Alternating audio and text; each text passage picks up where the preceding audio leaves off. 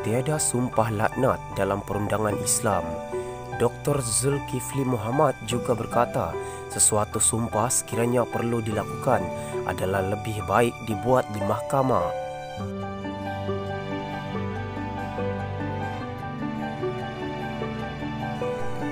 Mufti Wilayah Persekutuan Dr. Zulkifli Muhammad berkata istilah sumpah laknat tidak ada dalam perundangan Islam kecuali membabitkan perkara mengenai li'an.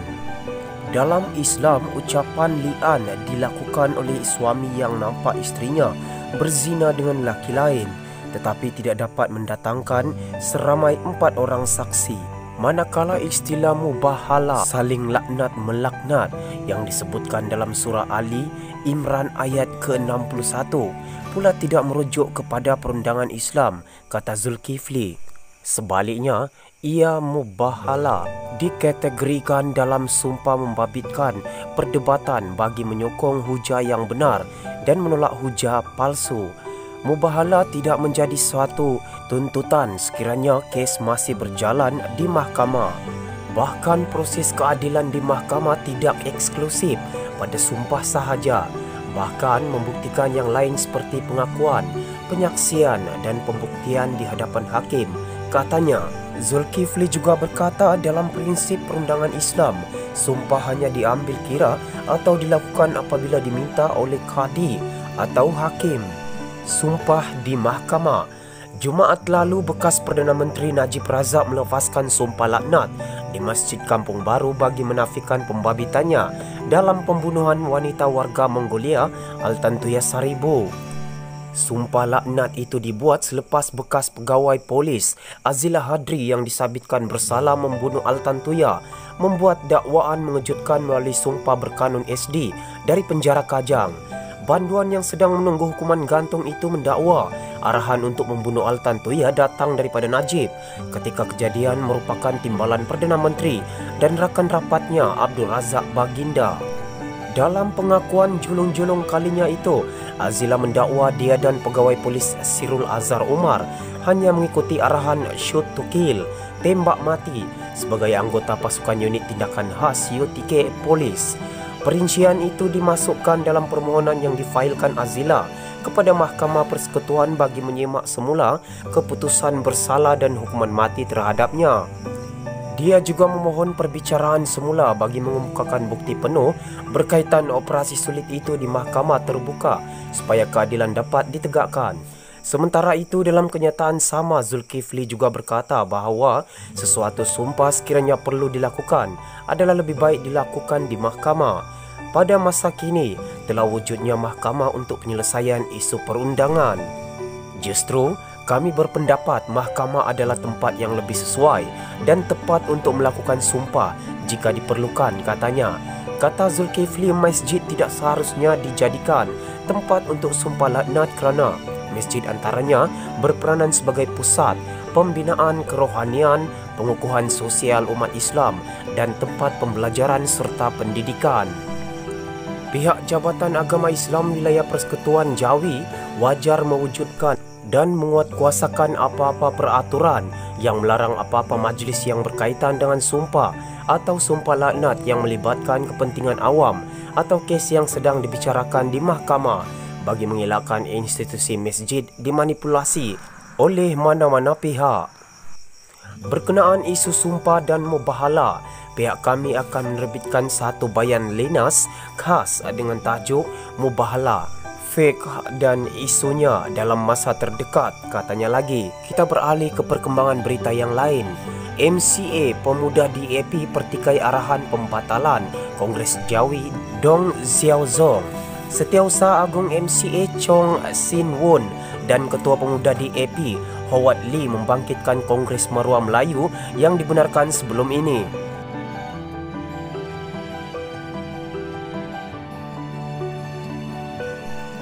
MCA menyuarakan bantahannya terhadap pembatalan Kongres anjuran Dong Xiaozong berhubung tulisan Jawi yang dijadual berlangsung esok.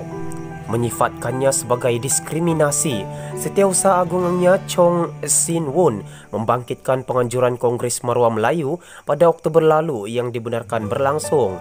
kerajaan boleh anjurkan Kongres Maruah Melayu, pertubuhan Cina tak boleh anjur pertemuan tertutup. Adakah Cina tak ada hak berhimpun? Soalnya dalam hantaran Facebook. Hantaran itu diiringi tanda pagar peribahasa Cina yang membawa maksud menyekat pemikiran manusia lebih berbahaya berbanding menyekat arus sungai. Polis hari ini mendapat perintah mahkamah untuk membatalkan penganjuran kongres itu yang diserahkan kepada Dong Zong petang tadi. Menurut dokumen yang dilihat Malaysia kini, perintah mahkamah dikeluarkan kerana mendapati program itu berisiko mencetuskan ketegangan. Oleh yang demikian, kehadiran kamu di Dewan College University New Era Kajang pada 28 Disember 2019 Sabtu adalah dengan ini dilarang dan kamu diberi amaran agar tidak berada atau berkumpul atau mengambil apa-apa bahagian dalam persidangan itu. Menurut dokumen itu, Dong Zong berkata pihaknya menghormati perintah mahkamah itu dan akan membatalkan program tersebut. Sementara itu, Ketua Pemuda DAP Howard Lee berkata, langkah polis mendapatkan perintah mahkamah itu sebagai bercanggah dengan hak perlembagaan merakyat Malaysia berhubung kebebasan bersuara dan berhimpun secara aman. Katanya langkah polis itu adalah satu reaksi berlebihan dan menetapkan duluan yang tidak baik untuk Malaysia baru. Polis patut melindungi hak Dong Zong berhimpun secara aman seperti mana penganjur Kongres Maruah Melayu dilindungi. Hak untuk berbeza pendapat di kalangan warga adalah tulang belakang demokrasi, katanya dalam kenyataan. Sementara itu, polis dapat perintah mahkamah batal Kongres Jawi Dong Xiao Zong. Penganjur berkata pihaknya menghormati perintah mahkamah dan akan membatalkannya.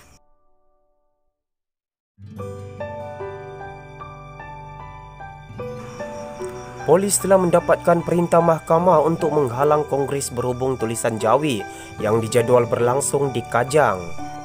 Ketua Polis Daerah Kajang ACP Ahmad Zafir Muhammad Yusof menggesa semua pihak menghormati perintah mahkamah itu dan tindakan tegas akan diambil jika ada melanggarnya.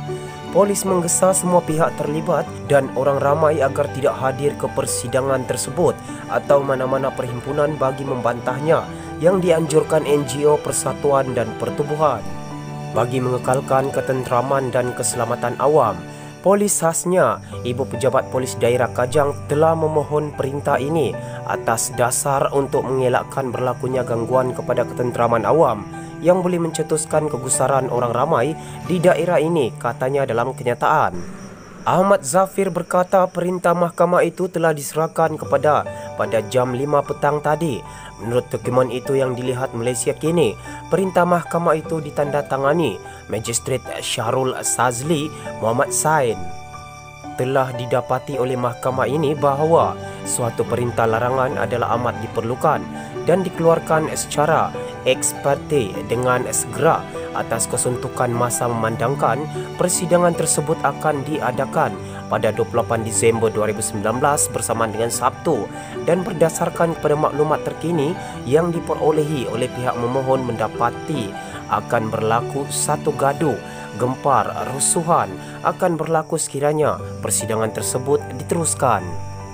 Oleh yang demikian, kehadiran kamu di Dewan College University New Era Kajang pada 28 Disember 2019 bersamaan dengan Sabtu adalah dengan ini dilarang dan kamu diberi amaran agar tidak berada di ataupun berkumpul atau mengambil apa-apa bahagian dalam persidangan itu menurut dokumen itu.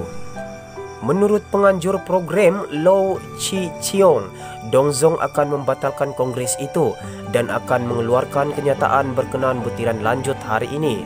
Kami hormat perintah mahkamah. Program kami esok akan dibatalkan katanya. Menurut laporan terdahulu, penganjur Dong Zong dan Jiao Zong, Dong Jiao Zong menjangka kongres itu akan disertai 1000 hadirin. Dong Zong sebelum ini berkata program itu hanya akan dilakukan di tingkat lima kolej tersebut dan tiada ada rancangan untuk para peserta keluar bagi mengadakan perhimpunan. Pihaknya juga mengeluarkan larangan kepada peserta untuk membawa spanduk, pelekat dan bahan berunsur provokasi. Beberapa NGO menyuarakan bantahan terhadap kongres itu dengan tiga daripadanya Pertubuhan Angkatan Gerak Minda Malaysia, AGRA, Gabungan Pelajar Melayu Semenanjung, GPMS dan Pertubuhan Peribumi Perkasa, Perkasa berkata akan mengadakan himpunan jika Dongzong tidak membatalkannya.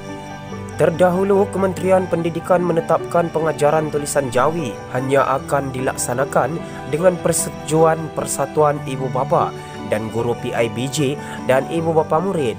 Bagaimanapun Dong Zong bertegas, mahu lembaga pengelola sekolah dilibatkan dalam proses membuat keputusan berhubung pengajaran itu yang dijadual dimulakan tahun depan untuk murid tahun 4. Kita kembali kepada perkembangan berita berkaitan sumpah laknat Najib. Mufti wilayah patut letak jawatan, kata Zamihan. Dr. Zamihan menyarankan supaya mufti wilayah meletak jawatan ekoran kenyataannya bahawa sumpah laknat tiada dalam sistem perundangan Islam.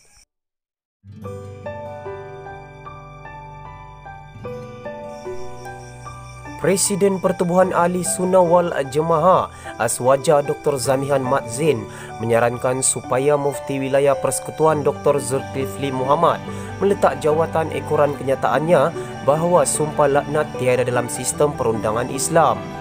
Zamihan berkata Zulkifli sepatutnya membuat kajian terperinci dan perlu mengeluarkan kenyataan secara berhikmah supaya tidak dilihat menjadi alat politik pihak tertentu.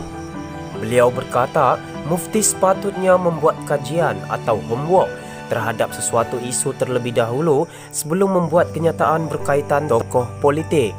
Hal ini penting supaya beliau tidak dikecam netizen, tidak memutuskan hukum secara salah, tidak menjatuhkan kredibiliti mufti dan merosakkan reputasi dirinya. Bahkan posisi mufti amat penting tidak dilihat sebagai alat politik katanya melalui satu tulisan di Facebooknya hari ini. Pada 23 Disember lalu Zulkifli berkata, istilah sumpah laknat tidak ada dalam perundangan Islam kecuali membabitkan perkara mengenai li'an. Dalam Islam, ucapan li'an dilakukan oleh suami yang nampak isterinya berzina dengan lelaki lain tetapi tidak dapat mendatangkan seramai empat orang saksi. Istilah mubahala saling laknat melaknati yang disebutkan dalam surah Ali Imran ayat ke-61 pula tidak merujuk kepada perundangan Islam, kata Zulkifli. Sebaliknya, ia mubahala dikategorikan dalam sumpah membabitkan perdebatan bagi menyokong hujah yang benar dan menolak hujah palsu mubahala tidak menjadi satu tuntutan sekiranya kes masih berjalan di mahkamah. Bahkan proses keadilan di mahkamah tidak eksklusif pada sumpah sahaja, bahkan pembuktian yang lain seperti pengakuan, penyaksian dan pembuktian di hadapan hakim, katanya dalam satu kenyataan. Pada Jumaat lalu, bekas Perdana Menteri Najib Razak melafazkan sumpah laknat di Masjid Kampung Baru Kuala Lumpur bagi menafikan pembabitannya dalam pembunuhan wanita warga Mongolia Altantuya seribu. Sumpah laknat itu dibuat selepas bekas pegawai polis Azila Hadri yang disabitkan bersalah membunuh Altantuya membuat dakwaan mengejutkan melalui akuan berkanun SD dari penjara Kajang. Banduan yang sedang menunggu hukuman gantung itu mendakwa arahan untuk membunuh Altantuya datang daripada Najib yang pada ketika kejadian merupakan timbalan Perdana Menteri dan rakan rapatnya Abdul Razak Baginda. Mufti Liverpool masih kosong sindir Zamihan.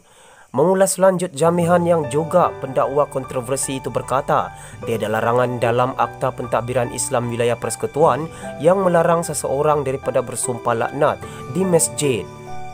Katanya tindakan mufti melarang sumpah laknat adalah menyekat sesuatu perbuatan yang harus di sisi Islam. Jelasnya lagi, amalan bersumpah di masjid merupakan amalan sunnah yang diharuskan. Bahkan, jumhur ulama termasuk Imam Syafi'i menganjurkan umat Islam bersumpah di makam Ibrahim dan mimbar masjid Nabi sallallahu alaihi wasallam atau bersumpah di dalam mana-mana masjid jika kes berkenaan berlaku di luar Makkah dan Madinah sama ada ia dibicarakan melalui mahkamah ataupun tidak. Muktasar Al-Muzani bab tempat bersumpah jilid 8 halaman 417 katanya jika mufti minat politik berkepartian maka elok bertanding dalam PRU 15 akan datang. Beliau boleh berjuang di lapangan seperti player Liverpool yang beliau agungkan. Jika mufti ada maruah diri, elok beliau meletak jawatan, jawatan mufti Liverpool masih kosong untuk diisi sindir zamihan. Zulkifli sebelum ini sering menggunakan pasukan bola sepak Inggeris Liverpool itu sebagai contoh ketika memberikan nasihat.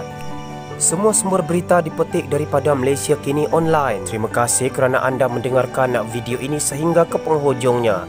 Terima kasih juga diucapkan kerana anda selalu menyokong channel ini. Untuk meneruskan uh, sokongan, sila kongsikan video ini ke akaun WhatsApp anda ataupun akaun Facebook anda.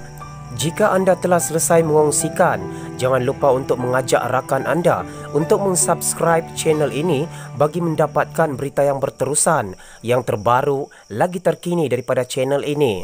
Jika sekiranya anda mempunyai komen, sila tinggalkan komen anda pada ruangan komen di bawah. Pastikan beretika dan berhemat.